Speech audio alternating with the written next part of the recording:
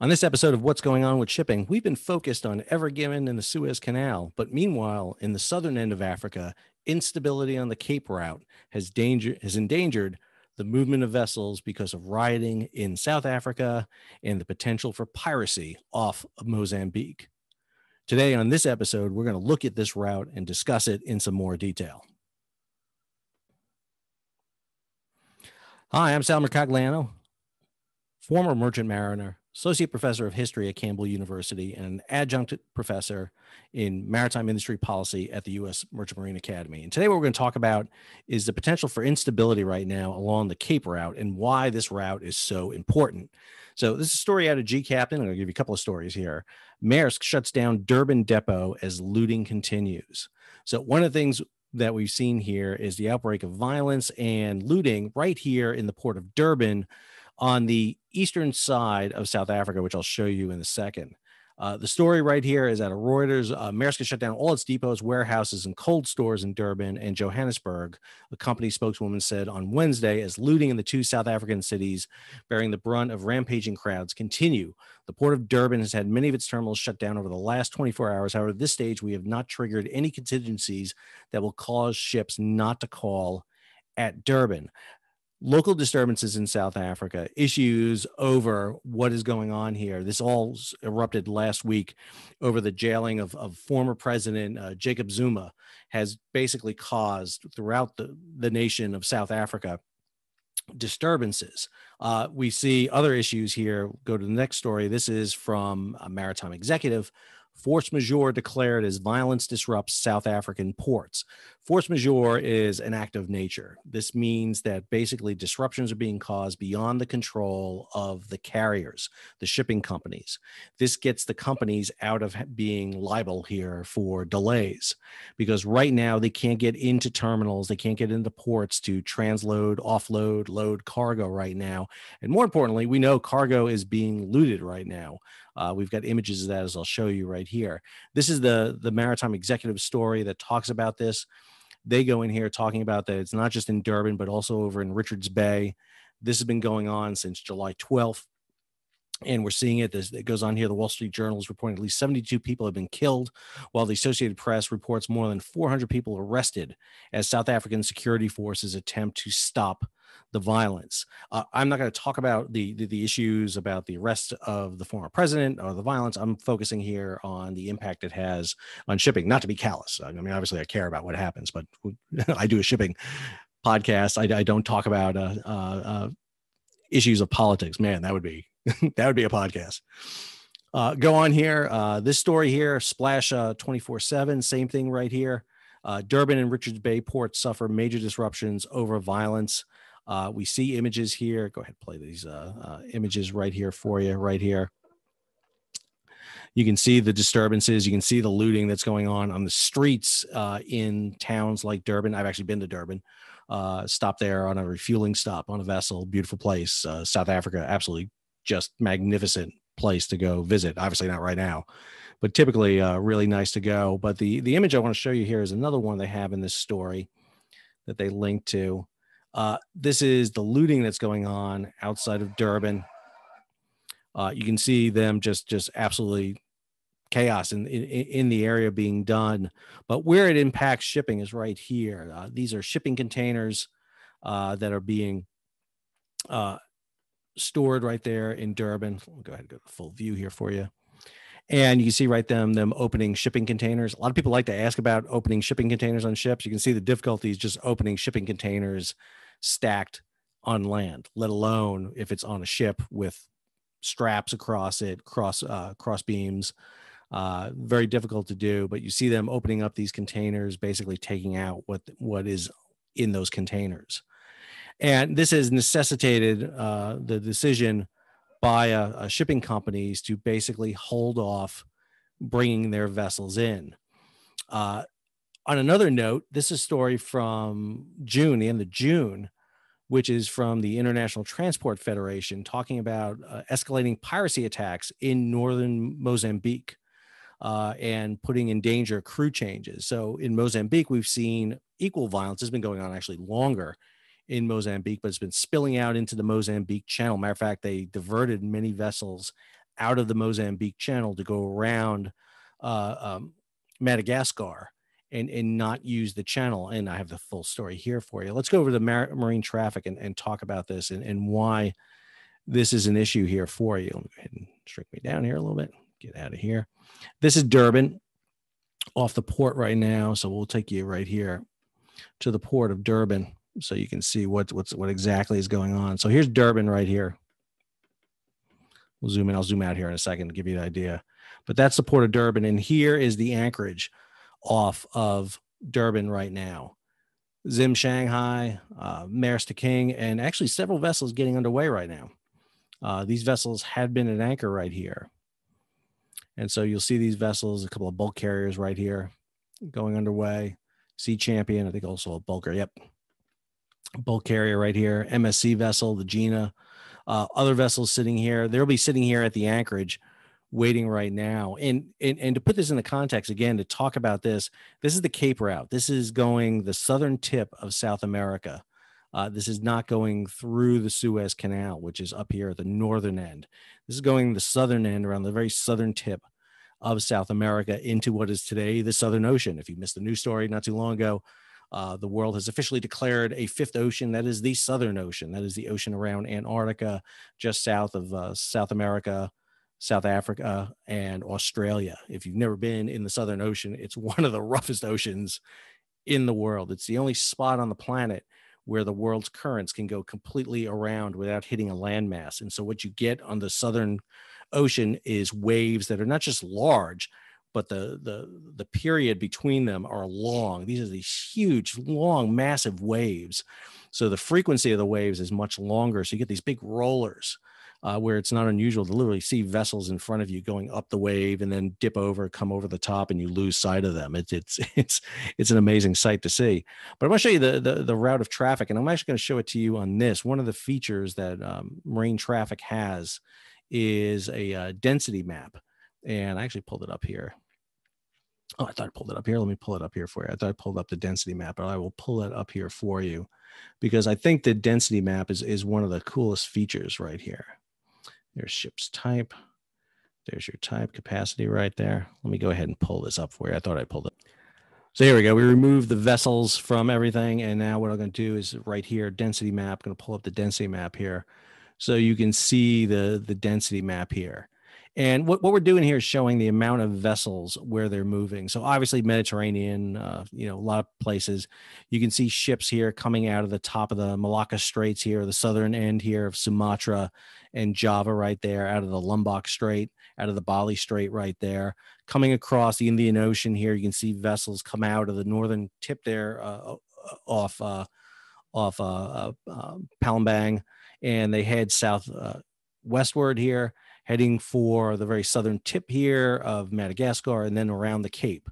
And then the ships come around the Cape. They either head northward along the coast of Africa, directly uh, northwestward there to the northern coast of Brazil, and many head over here to the Rio de Plata, Brazil, and Argentina. And, and you're asking, okay, wait a minute, why are you going that route? Why not go through there? Well, one of the reasons is there's a lot of trade that goes through this area here.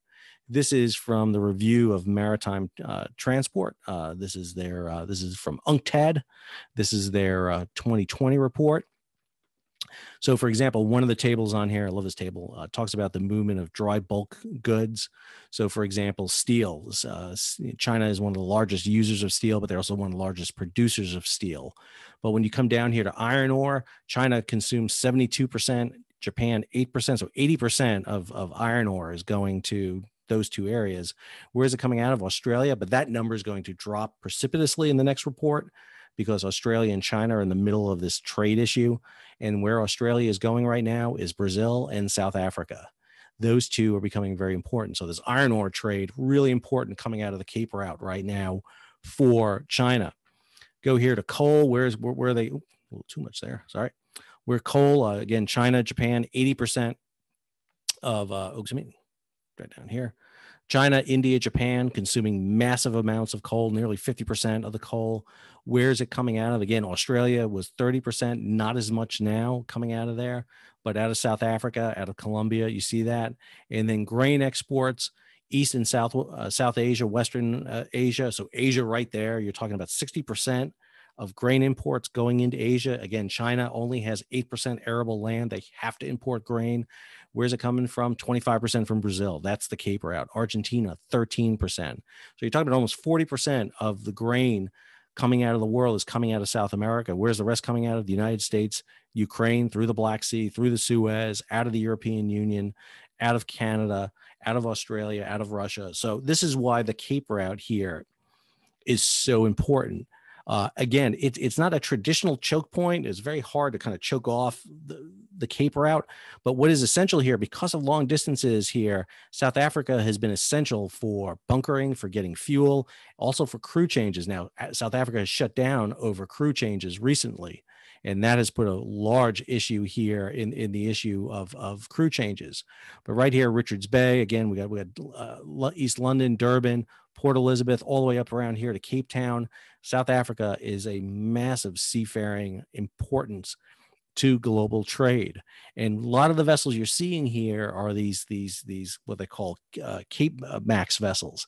These vessels can only use the Cape route because of their size. Matter of fact, there's an entire class of vessels named for a specific company, and that's called Valemax. Vale is is one of these big companies here. This is the Wikipedia article, but it talks about the size of these vessels. Uh, and to give you again the the example here of the size of these vessels, let me come up here at the very beginning here and talk about the size of vessels. So we, we understand the scope and size. We're talking about 380 to 400,000 deadweight tons. Put that in perspective, Ever Given was 220,000 deadweight tons. These ships are twice as big, twice as big in terms of carrying capacity. Now they're not longer. You look at length here; they're not 400 meters. They're not as long as Ever Given uh, their beam and draft is is typically bigger. Uh, you're talking about 65 meters, 213 feet. Their draft is deeper, down to 72, 75 feet, 22 to 23 meters. But the reason they're heavier is because you fill the entire vessel full of grain or ore or whatever it is you're carrying. So these vessels are absolutely massive. And you see right here a whole series of these vessels being built uh, to do this. Uh, and again, look at the names and you see the importance that they have here and who's controlling them. You know, where they originally Vale, now they're owned by the Chinese merchant uh, energy shipping or COSCO. Uh, you see them being done. Uh, and I'll have the link here to Vale, uh, very interesting site here. They talk about their fleet, their Cape sized vessels that are right here. You know, to cross the Atlantic Pacific, they have to uh, negotiate the Cape of Good Hope. And again, big vessels are better for the rougher seas. The bigger you are, the better you are to handle those rough seas. And and being in the Cape route in wintertime, which again is right now, uh, it's wintertime in the southern hemisphere. You need those big vessels. Uh, one of my favorite things they have on here is is is these 360 tours of vessels. Absolutely love these things. So you get an opportunity here to see it. Uh, loading facility right here. Here's one of their ships right here, their Vale ship right here. Let's go ahead and, and follow this thing along here. And you see the cavernous holes right here. Again, these things are drawing 75 feet of water, and you still have another basically probably 75 feet above the water line right there. So 150 feet, you're talking about 15 stories. And these are the the the grain mills right here. They bring the grain and just begin to fill up these holes. One of the most dangerous ships in the world are these things. These things are treacherous for a variety of reasons. One of them is when you're loading grain, grain pours down there and you get a fine mist of grain. That is explosive. Uh, I've been a volunteer firefighter for 20 years. The closest I ever got to getting burned at a fire scene was spraying water on a pile of trash, and underneath that pile of trash was a pile of sawdust. And when I hit the sawdust with the hose, it flew up in the air and then it ignited and very nearly burnt all my hair off. That's a little joke for everybody here. But no, it was, it was, it was particularly dangerous. Grain vessels, in particular, are very dangerous. Even with ore, it's dangerous because the ore, irregularly shaped, will go into these holes. It doesn't always sift perfectly in there. And so, one of the problems you have with bulkers, we see issues with bulkers all the time, is they suffer these catastrophic lists because the cargo will shift. You try to fill the vessel up as high as you can, but you need to leave some space there to load them. And these hatches have to be sealed perfectly, or else you can get water in them. Water in a bulker is is absolutely dangerous. You can see the size of these vessels. Uh, to get the grain out, they do the exact opposite here. They do uh, have a huge kind of vacuum system that is at work here, and uh, absolutely just amazing. You can see the grain kind of, or in this case, ore here. Looks like no, maybe grain piling in there coming down they will tend to kind of keep it a little bit wet to prevent the the the, the uh, dust coming in there to do it but they don't want to get it too wet because they don't want to damage the the cargo so you can see that grain kind of piling in there. And and again these vessels are huge. This helicopter spot it's on all ships. This is in case you have to evacuate a crew member. They usually pick a spot on the vessel which is the clearest spot should they have to do a medical evacuation. They don't land a helicopter although they could on that vessel but that, that may be rated it depends. But usually what they'll do is a helicopter hoist off there for you and again, this is back where we were kind of looking forward on the vessel right there. Uh, absolutely massive vessels. You see how high she is out of the water right there. She'll be down to her load marks once she's loaded. You have to load this vessel in a very particular way too. Uh, you don't tend to load one hold completely. That puts a big strain on the vessel. They'll load them at different uh, holds at different time. This thing actually moves on this track right here. So it swings over here. So you can load the different holds at different times. Uh, just an amazing process uh, if you've never seen it before. And it, it's one of those uh, uh, things that are, are just really unique out there. So the impact this has, we don't know yet. Uh, it depends how fast the violence is precluded in South Africa to the resumption of normal port operations. But the potential for disruption there is significant uh, for the movement of goods. Uh, again, it'll impact Africa, obviously. Uh, Durban is a fairly large port uh, for transshipment.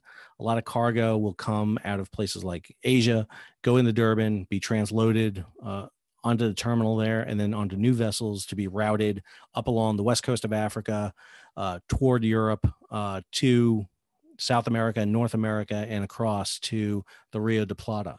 So, the longer this goes, the more impact it has. The potential here is for bulk disruptions. China has has shifted a lot of their focus from Australia because of the issues with Australia over to Africa, over to South America, and now this has the potential to cause a disruption for China if they can't get their raw materials that they need. China is absolutely dependent on imports of raw material to keep their manufacturing going. Uh, and again, the, the issue in Mozambique here has basically precluded some issues here. There's some danger of piracy now in the Mozambique Channel. You're seeing some vessels divert around Madagascar, but again, what they're trying to do is basically go a little further out from Mozambique, get off the coast a little further. But again, this this puts the entire southeast to southern tip of Africa into a bit of extremis. And we'll have to see. This can impact insurance rates. It could impact shipping rates right now when shipping is at a premium. So again, we'll keep an eye on this, let, let you know, and and and as always, try to let you know the impact this has towards you. Uh, if you enjoyed this story, you may not enjoy the rioting in, in South Africa, of course, but if you enjoy stories like this, please subscribe to the channel. Go ahead, hit the bell so be alerted about new videos when they come out. Give it a thumbs up so other people on YouTube can find it. Share it across social media, and stay tuned for the next episode of What's Going On with Shipping. This is Sal signing off.